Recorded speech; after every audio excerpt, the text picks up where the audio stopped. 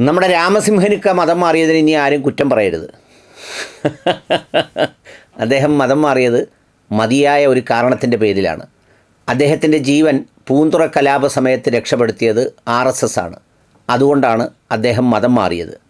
പിന്നെ അദ്ദേഹത്തിന് വേണ്ടി ഫേസ്ബുക്കിൽ ഒരു പേജും പ്രവർത്തിക്കുന്നുണ്ട് Ali Akbar for B J P president എന്ന് പറഞ്ഞിട്ടാണ്. ഏതായാലും അദ്ദേഹം ചില കാര്യങ്ങളിലൊക്കെ നിരാശനാണെങ്കിലും നിരാശ വിടാതെ വികാരനിർഭരമായി ആ കാര്യങ്ങൾ പങ്കുവച്ചപ്പോൾ ഞാൻ ഇത്രയും നാൾ അദ്ദേഹത്തിനെ കുറ്റപ്പെടുത്തിയതിൽ എനിക്കും സങ്കടം തോന്നി. നമ്മളെ ആരെങ്കിലും വാഹനത്തിൽ അപകടം പറ്റുമ്പോഴോ അല്ലെ പറ്റാതിരിക്കാനോ അല്ലെങ്കിൽ അങ്ങനെ സംഭവിച്ചാൽ ആശുപത്രിയിൽ എടുത്തുകൊണ്ട് പോയാലോ ആ സ്നേഹത്തിന്റെ പേരിൽ മതം മാറിയേക്കണം. നിഷ്പക്ഷ നിലപാടിൽ അതിനെക്കുറിച്ചാണ് എനിക്ക് പറയാനുള്ളത്. ഈ വലിയ വലിയ പേരുകാരായ ചിലരുണ്ട്. അത്തരം പേരുകാരെ നമ്മൾ ചില ചെറിയ കാര്യങ്ങളുമായി സമീപിക്കുമ്പോൾ അവരുടെ മനസ്സ് വെറും കുഞ്ഞി മനസ്സാണെന്ന് ബോധ്യപ്പെടും. നമുക്ക് തന്നെ അത്ഭുതം തോന്നും. എടാ നമ്മളിത്രയും ചെറിയ ഒരാൾ ഒരു വലിയ ആളായി കണ്ട് അയാളെ സമീപിക്കുമ്പോൾ അദ്ദേഹത്തിന്റെ ആ മനസ്സൊരു പിഞ്ചു കുഞ്ഞിന്റേതാണല്ലോ എന്ന് തോന്നിപ്പോകാറുണ്ട്. നമ്മുടെ അലി അക്ബറിനെയൊക്കെ ഞാനൊരു വലിയ സിനിമാ സംവിധായകനായും സാമൂഹ്യ രാഷ്ട്രീയ പ്രശ്നങ്ങളിലൊക്കെ ഇടപെടുന്ന ഒരു വലിയ കരുത്തുള്ള ആളായുമൊക്കെയാണ് ഞാൻ മനസ്സിലാക്കിയിരുന്നത്. പക്ഷേ അലി അക്ബർക്ക കാലം പോകും പോകുന്തോറും അദ്ദേഹത്തിന്റെ മനസ്സൊരു നിഷ്കളങ്കവും നൈർമല്യവുമാർന്ന സനാതന മനസ്സാണെന്നും ആ സനാതന മനസ്സിനുള്ളിൽ ധാർമ്മിക മൂല്യങ്ങൾ ക്ഷണഭംഗുരമായി ഇങ്ങനെ കുമിള പോലെ വന്ന് വന്ന് പൊട്ടുന്നതായും എനിക്ക് അനുഭവപ്പെടുന്നു. അതുകൊണ്ടാണ് ഇത് കണ്ടപ്പോൾ അത് സംസാരിക്കണമെന്ന് തോന്നിയത്. അദ്ദേഹം ഒരു ഫേസ്ബുക്ക് പോസ്റ്റ് ഇട്ടു. ആ ഫേസ്ബുക്ക് പോസ്റ്റിൽ അദ്ദേഹം പറയുന്നത് ഇങ്ങനെയാണ്. ഒരു മുസൽമാനായിക്കൊണ്ടാണ് ആർ എസ് എസിനെ ഇഷ്ടപ്പെട്ടത്. അതിൽ തെറ്റൊന്നുമില്ല. മുസൽമാനായിക്കൊണ്ട് ആർ എസ് എസിനെ ഇഷ്ടപ്പെടാം ബി ജെ പിയെ ഇഷ്ടപ്പെടാം കമ്മ്യൂണിസ്റ്റ് പാർട്ടിയെ ഇഷ്ടപ്പെടാം കോൺഗ്രസിനെ ഇഷ്ടപ്പെടാം അതിലൊന്നും ഒരു തെറ്റുമില്ല. പൂന്തുറ കലാപവുമായി ബന്ധപ്പെട്ടാണ് അവരെന്റെ വീട്ടിലെത്തിയത്. ഞാനാകട്ടെ അന്ന് കമ്മ്യൂണിസ്റ്റും.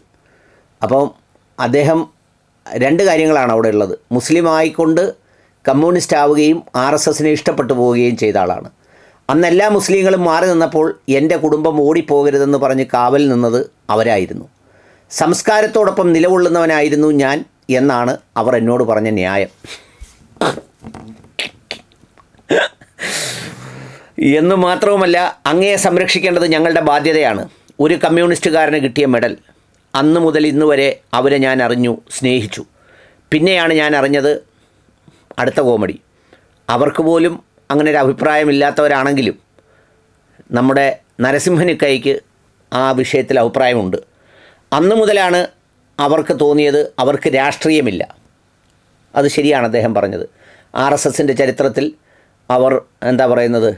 കോൺഗ്രസ്സുമായും സി പി എമ്മുമായും ആർ എസ് പിയുമായും എസ് ആർ പിയുമായും കമ്മ്യൂണിസ്റ്റുമായും സി പി ഐയുമായും ഒക്കെ ബന്ധം പുലർത്തിയിട്ടുണ്ടെന്നാണ് നമ്മുടെ ഇക്ക പറയുന്നത്. രണ്ടാമത്തേത് അവർക്ക് മതമില്ല ജാതിയില്ല രാഷ്ട്രം രാഷ്ട്രം മാത്രം.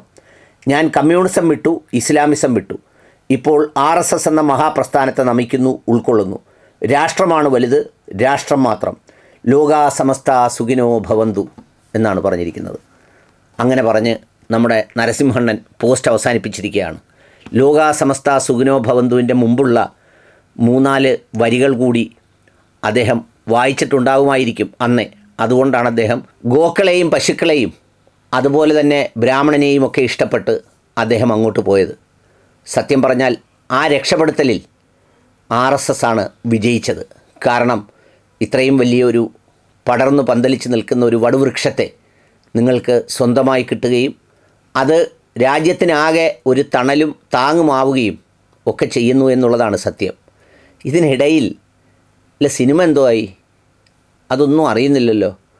അന്ന് ഒരു വീഡിയോകളും ലൈവും അത് പിടിക്കാൻ പോകുന്നതും അതിന്റെ കളവും അവിടുത്തെ സെറ്റും ഒക്കെ ഒക്കെ കാണിച്ച് ഒത്തിരി പോസ്റ്റ് ഇട്ടിട്ട് ആ വാര്യംകുന്നൻ സിനിമ വളരെ വേഗത്തിൽ പുറത്തിറക്കി സാംസ്കാരിക സമ്പന്നത കൂടി വർദ്ധിപ്പിച്ച് ഒറ്റക്കെട്ടാക്കണമെന്ന് അഭ്യർത്ഥിക്കുന്നു. പിന്നെ അങ്ങോട്ട് വന്നെങ്കിലും നിങ്ങൾ മതിയായ ഒരു പ്രാധാന്യം അദ്ദേഹത്തിന് കൊടുക്കാത്തത് കൊണ്ടുകൂടി ആവണം ഫേസ്ബുക്കിൽ Ali Akbar for B J P president എന്ന് പറഞ്ഞിട്ട് ഒരു പേജൊക്കെ ഉണ്ടാക്കി പതിമൂന്ന് പേരെ കൊണ്ട് ലൈക്കൊക്കെ അടുപ്പിച്ച് അദ്ദേഹം കാത്തിരിക്കുന്നുണ്ട്. അദ്ദേഹത്തിന് അർഹമായ ഒരു പരിഗണന കൊടുക്കണം. അദ്ദേഹം വേണമെങ്കിൽ ഈ പറഞ്ഞതുപോലെ നമ്മുടെ അബ്ദുൽ സലാം സ്വാമി ചെയ്തതുപോലെ മല കയറുകയോ അവിടെ സ്ഥിരതാമസമാക്കുകയോ ഒക്കെ ചെയ്യുന്നതിന് യാതൊരു മടിയുമില്ലാത്ത നിഷ്കളങ്കമായ ഒരു ഭക്തനാണ് അദ്ദേഹത്തെ ഒന്ന് സ്വീകരിക്കണമെന്ന് വിനീതമായി അഭ്യർത്ഥിക്കുന്നു.